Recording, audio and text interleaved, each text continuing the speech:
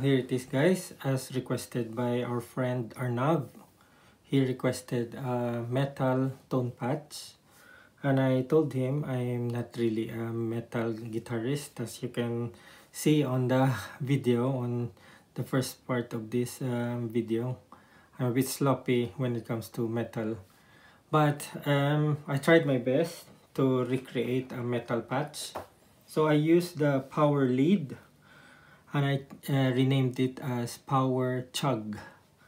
So uh, the effects there was um, Metal World, then Noise Gate, and then Revo 1 amp, and then Room Reverb.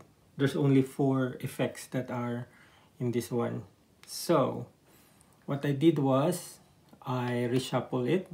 So I got ZNR and then I got the Metal World and then the Revo one and then stereo chorus which is off at the moment and then room reverb. So that one is a standby. Uh, you can put it or you can omit it. Uh, it changes the tone as well. Forgot to demo that. But for now we'll concentrate as the stereo chorus is not on so this one, ZNR, it was noise gate here before I picked it up and swap it here on the first one. So ZNR, I put it a bit high. It's on 17 because it's very, very noisy. When it's high gain, the noise is really, really up. So 17 for threshold, detect guitar in, level 100 and then this is our um, pedal metal world which is like distortion but it's super high gain. And the gain is 60 tone 30 level 100 this will push the amp.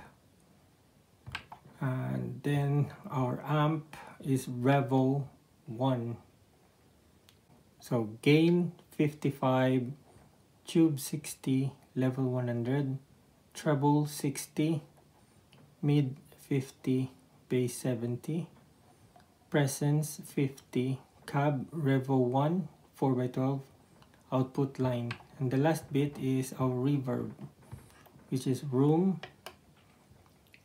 And decay is 16 tone 8 mix 60 pred 1 level 100 tail off.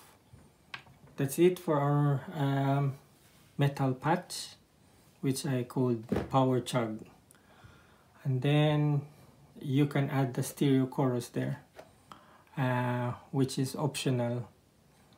It changes the, the tone and I think some of you will love uh, the tone with chorus. Others might just stick with without the, the chorus. So that's it guys. Hope you like this one and thank you for watching and see you again soon 拜。